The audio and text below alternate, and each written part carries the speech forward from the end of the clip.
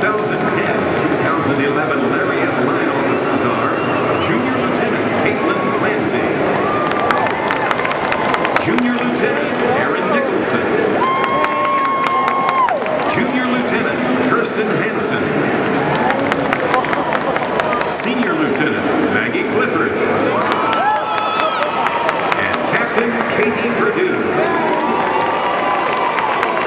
Tonight, the Lariettes will be performing Thank you.